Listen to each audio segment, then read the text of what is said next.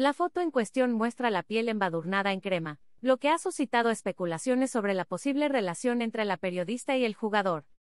La foto, tomada en lo que parecería ser un baño, tuvo otra escena ya sin la etiqueta de la ubicación.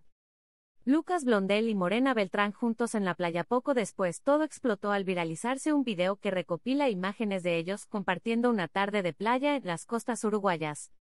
En las fotografías se los puede ver a ambos dialogar de manera muy próxima en una reposera blanca. La singular respuesta de Lucas Blondel en medio de los rumores de romance con Morena Beltrán tras el planteo sobre las toninas que le hicieron en la nota, el entrevistado ensayó una rápida respuesta entre risas, sí.